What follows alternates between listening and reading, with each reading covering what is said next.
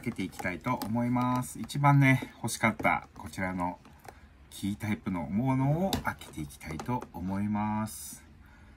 普段はコンプリートセットをネット購入してるんですよね。なんと言ってもね、ちょっとギャンブル性がガチャガチャ高いので、今回この商品の存在自体を知らなくて、たむたむにね、ミニカーを買いに行ったんですよ、実は。その時に見つけて、もうね、回さずにはいられなくてやってしまいました。まずね、こちらのパンフレットから見てまいりましょう。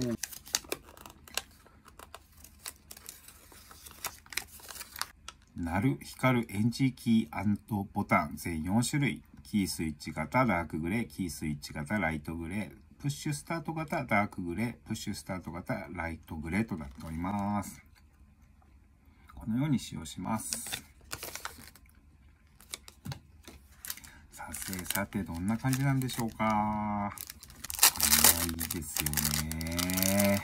あ、キーが抜けるんですね。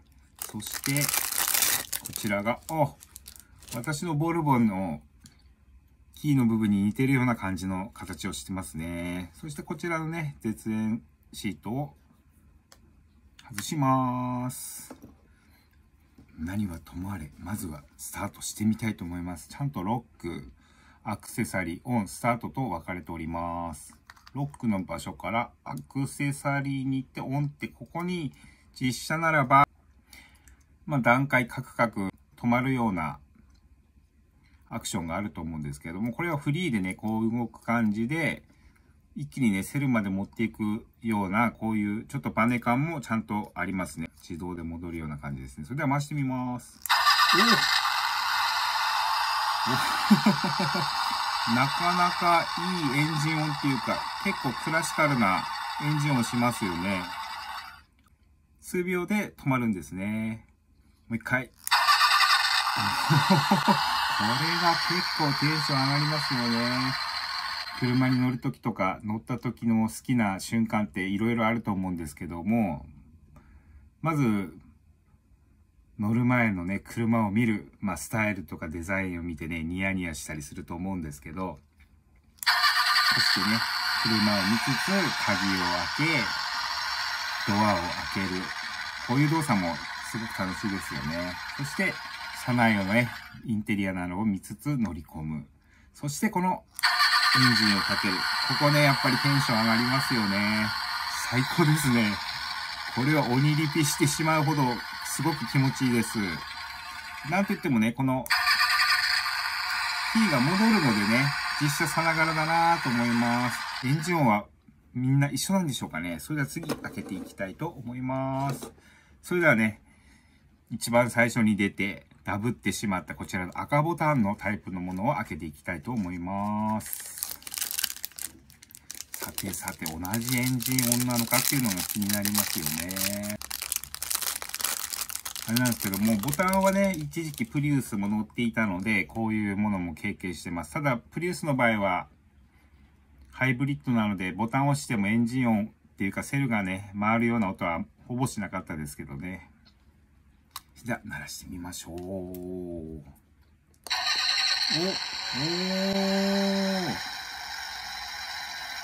エンジン音一緒かな？で、ここね、ちょっとで、点滅気味に光るんですね。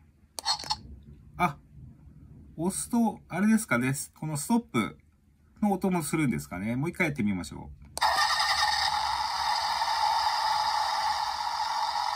ちょっと演じ違う気もしますね。で、押すと止まると。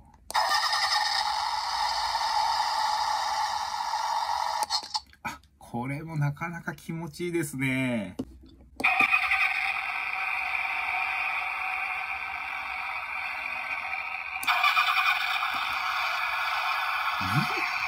一緒ですかね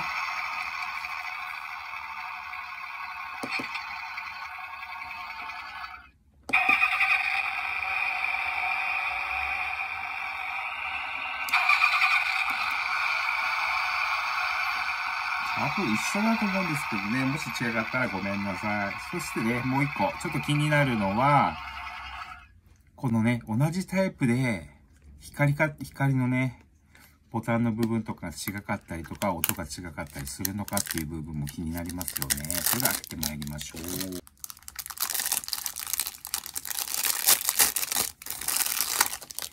形は一緒ですかね。違うんだ。形は一緒ですけど、ここに表記されている文字が違くて、赤とブルーではちょっと違いますね。パワーになってますね。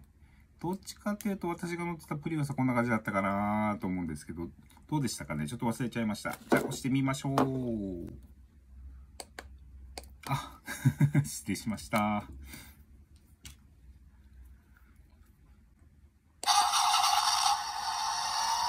あ、違いますかね？若干違う気が、え？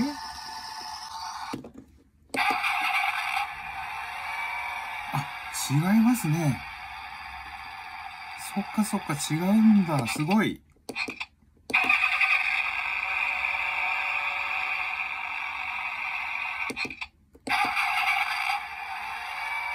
あ、一緒わからん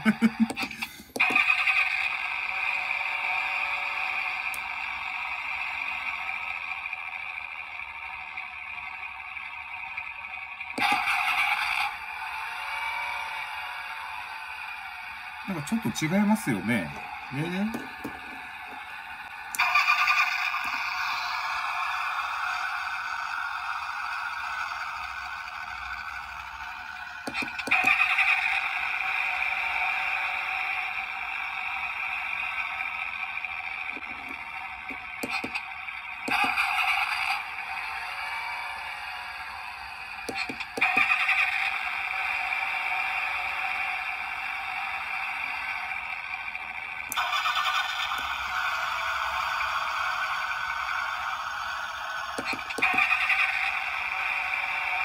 違うんじゃないですかね。やっぱりね、キーで回すタイプは、ちょっと旧車チックな音がしますよね。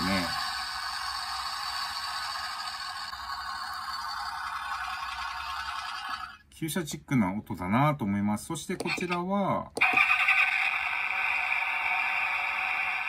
ん？うん、やっぱちょっと違いますよね。なのでもう一個もしかしたら違うのかもしれませんね。やっぱりね、コンプリートセットで買うのが一番ですね。4回目に一番欲しいのが出てきてくれたんで、もうやめる気にもなりましたけど、永遠とね、ダブる時もあるので怖いですね。ガチャガチャって。ちなみにね、あの、今、台車でお借りしている V40T4 はこんな感じのエンジン音になってます。